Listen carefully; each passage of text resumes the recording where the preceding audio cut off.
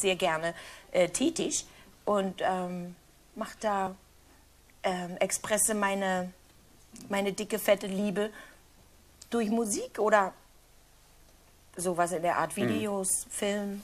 Gut, aber du lebst ja auch mit einem Mann zusammen, sagst du. Wie, wie sieht Ich Zusammenleben für habe dich schon aus? Mhm. lange zusammengelebt Und, und auch mit mir selber.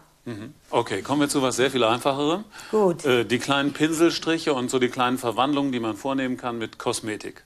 Ja, schrecklich oft. Erkennen dich die Leute? Ja, natürlich, jeder erkennt mich auf dieser Welt. Äh, jeder erkennt übrigens jeden. Und ich habe überhaupt kein Problem mit nicht erkannt werden oder erkannt werden. Stell dir mal vor. Na, aber jetzt Ich bin nochmal eine raus. ganz, ganz normale Mutti und ich freue mich, dass ich am Leben bin und dass ich so schöne Perücken gekauft habe, neulich beim Erdbeben in Los Angeles. Ich dachte jetzt noch schnell in den Perückenladen im Hollywood Boulevard. Ich, ich fliege nämlich morgen weg da und habe noch ganz tolle Perücken rausgezogen. Und da war auch gerade ein Aftershock noch und es hat, äh, die ganzen Regale haben total getiltet.